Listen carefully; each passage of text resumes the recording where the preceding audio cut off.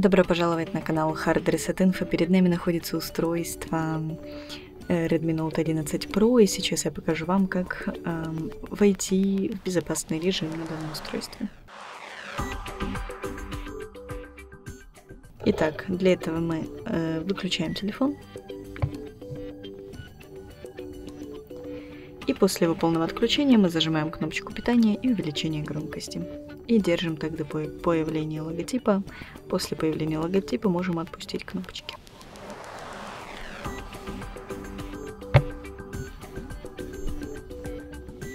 Попадаем в режим recovery. Здесь мы передвигаемся при помощи кнопок громкости.